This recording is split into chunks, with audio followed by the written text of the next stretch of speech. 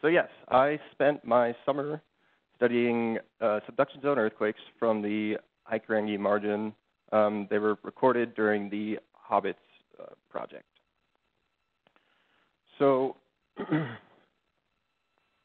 this is a schematic diagram of the tectonics in New Zealand. Um, the Hikurangi margin is uh, part of the plate boundary between the Pacific plate and the Australian plate. At the North Island here, or more specifically, the part of the margin that we are interested in, this convergence rate is happening at about 50 millimeters per year. So why are we interested in this part of the margin? Well, first of all, this has been the site of the slow slip events that have motivated the HOBITSS project um, from which we've collected our data. So HOBITSS stands for Hikurangi Ocean Bottom Investigation of Tremors and Slow Slip. Slow slip can be thought of as a sort of silent slow motion earthquake in that it ruptures the fault, um, but it doesn't generate significant shaking because it happens over an extended period of time. So for this region, or for this reason, um, geodetic techniques are used to detect these events and to model them. So uh, onshore continuous GPS and also uh, seabed pressure gauges. Um, so during the HOBITSS project, there was a two-week-long slow slip event that generated um, about 150 to 200 millimeters of slip in a two-week period. So if you think back to the convergence rate uh, at at this part of the margin, this is equivalent to about three to four years of background plate motion.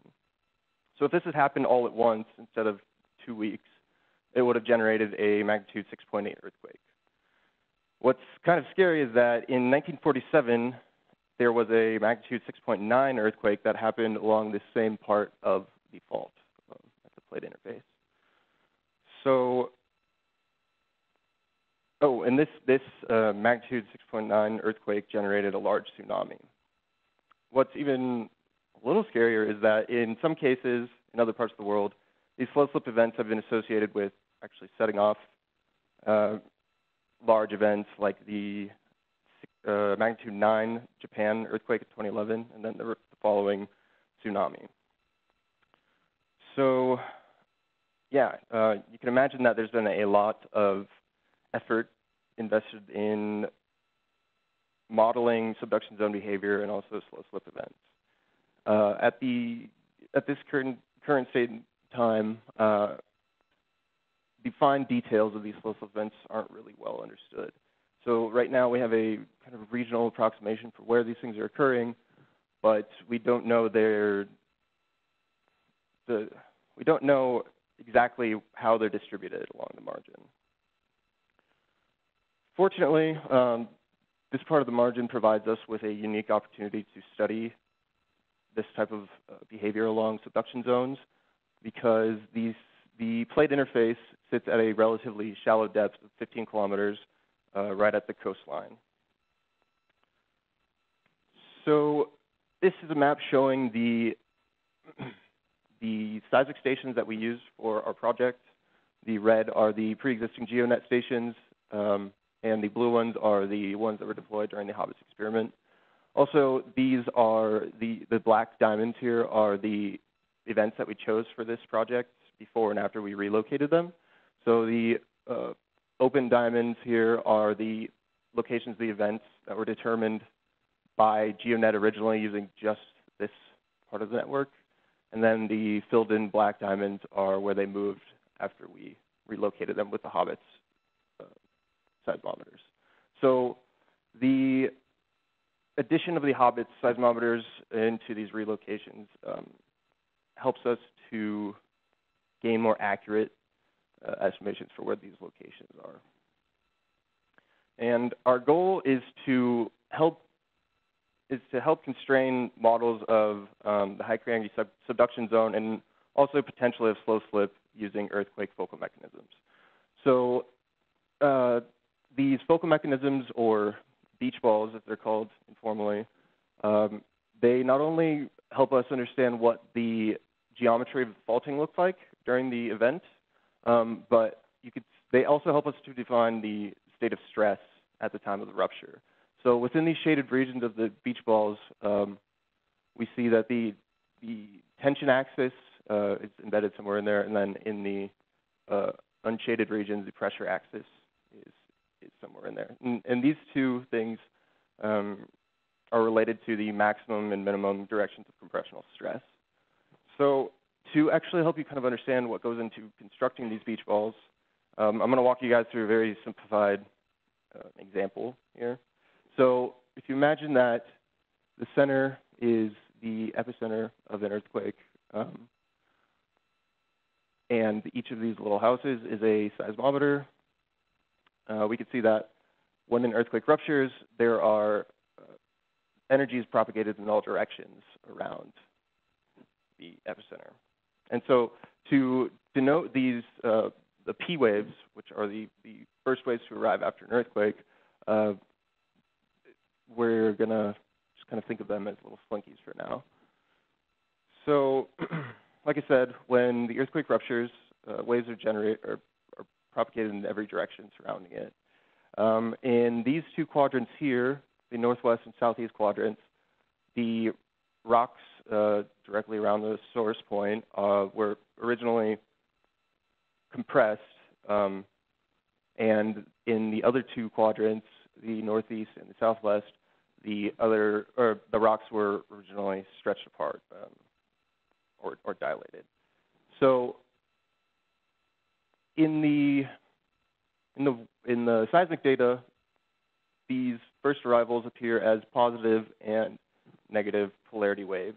Um, and so what I had to do was look at first arrivals from every station in the network that we used and identify the polarity of the first arrivals. So, oh, and this is uh, an example of some of the data that we actually used. So um, in some cases, the first arrivals were pretty clear, and in other cases, we had some very noisy data. Um, in a lot of cases, we weren't even able to identify a polarity of the first arrival. So we can plot these stations on a stereographic projection, um, and then we fit uh, potential fault planes um, that that describe the geometry of the earthquake. Um, and again, notice that the tensional axes are uh, defined in this shaded region, and the or the compressional the pressure axes are defined by the shaded regions, and the tensional axes are defined in the other regions.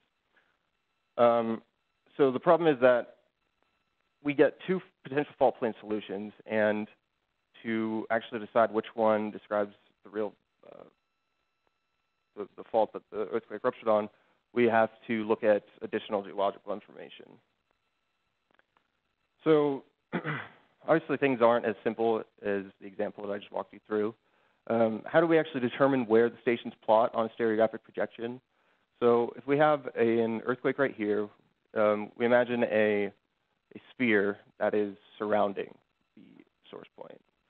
And what we're actually plotting on this, this stereograph is where the rays intersect that sphere on their way to the seismic stations.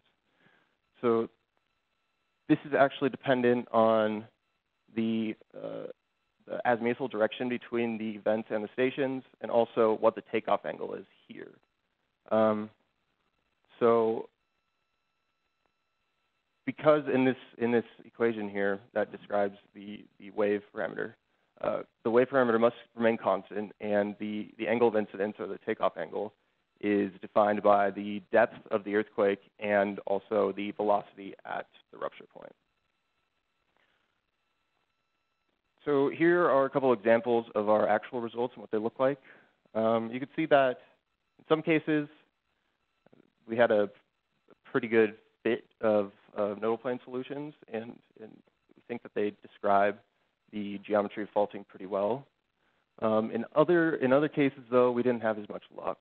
And you can see here that in this particular example in the bottom right, um, a lot of our stations plotted uh, right around the same takeoff angle, the same distance from, from the center. And we think that that's because of the velocity model that we use to actually calculate the takeoff angles. So we used a global velocity model, um, and I think that, well, in the past, this, this problem has kind of been addressed in a different study uh, by, by one of my mentors, former students. And he did a comparison of using a global velocity model versus a uh, more localized velocity model for his study region. And as you can see, especially in the uh, shorter distances between the events and the stations, uh, the, the takeoff angles change quite a bit. Um, and so while we while we can resolve uh, some good solutions here, um, I think it would be interesting to take a look at what would happen if we used a more uh, localized velocity model for, for our earthquakes. So here are the, I'll call them preliminary results before we actually take a look at, at uh, the use of a new velocity model. Um, these larger beach balls are the ones that we actually calculated for our study. Um, and then the smaller ones that are plotted kind of in the background, they are focal mechanisms that were determined by um, GeoNet using moment tensor analysis. And as I mentioned before, um, the addition of the HOBITSS network um, off, offshore helps to better define the locations that we determine. So um, the GeoNet solutions, I'm a little hesitant to try to draw you know, very specific conclusions from them. And also because of our uh, because of the issue with the velocity model in our solutions, um, I don't want to I don't want to draw any significant interpretations. But in general, we see that the uh, well, first of all, the beach balls are colored by which depth that they were determined in, and we see that earthquakes are happening generally shallower near the trench, and they get deeper as you move inland, and um, that agrees with with the model of the subduction zone that we're that we're thinking about here. Um, also, out here in these in these shallower earthquakes, we see uh, a lot of um, normal faulting. Oh, I got to move on. I'm sorry, guys. Um, anyway, I'm just going to walk you really quickly through uh, what I've talked about in my talk. Um, so the slow slip events are important to understand for hazard assessment in New Zealand. Models of the high Hikurangi margin can benefit from having further constraints. Um, we can hopefully use focal mechanisms to provide these types of constraints, especially for the state of stress and the uh, geometry of faulting.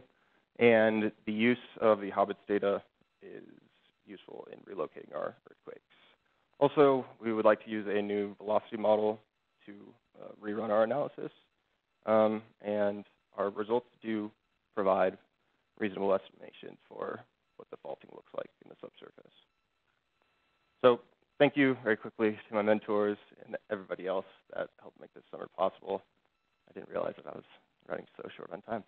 uh, I'll open the floor to any questions as well.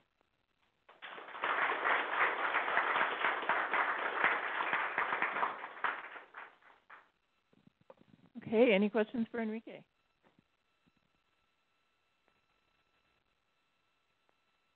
No? Crickets.